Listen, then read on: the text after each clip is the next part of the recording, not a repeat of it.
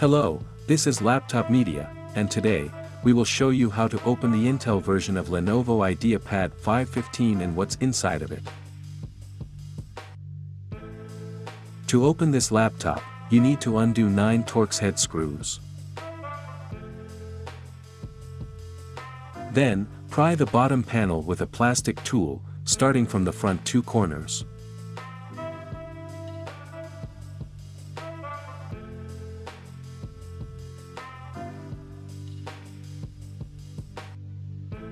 Please remember, it would be of great help to us if you just hit the like button and subscribe to our channel.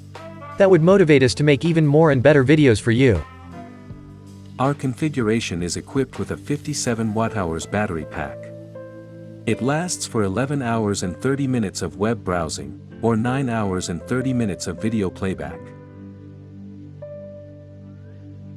To remove it, you need to undo 4 Phillips head screws and unplug the battery connector.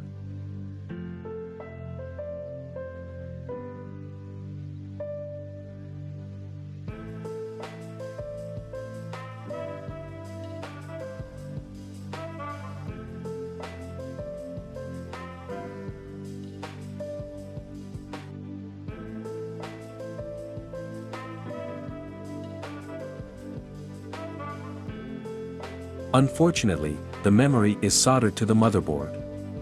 You get up to 16 GB of DDR4 RAM, working in dual-channel mode. Storage-wise, there is an M.2 PCIe X4 slot, which supports Gen 4 SSDs.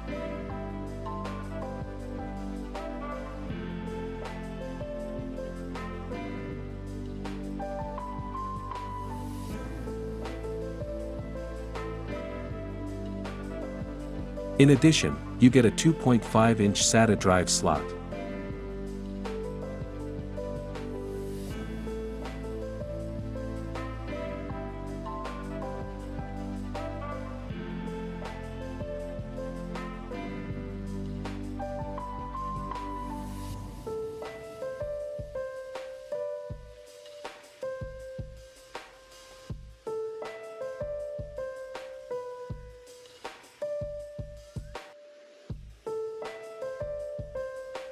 Cooling-wise, there are two heat pipes taking care of the CPU. In addition, you get one fan, while the VRMs are not being cooled.